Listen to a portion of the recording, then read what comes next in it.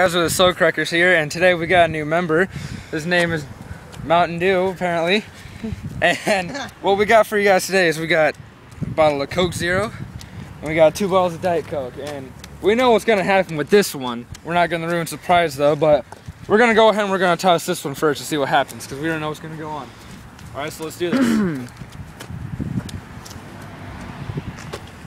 that was horrible. Okay, that wasn't bad. Alright.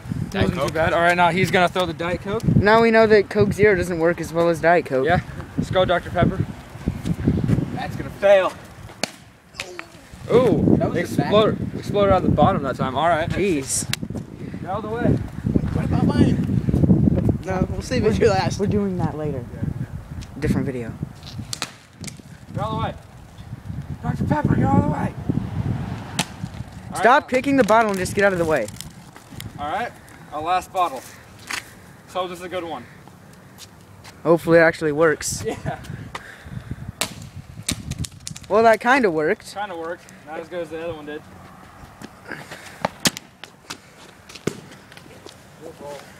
That's All right. Now this one, it kind of you know, exploded out of the bottom. exploded out of the bottom. Instead of the top, like it should have. Yeah.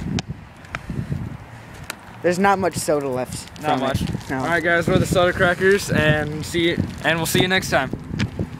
Okay.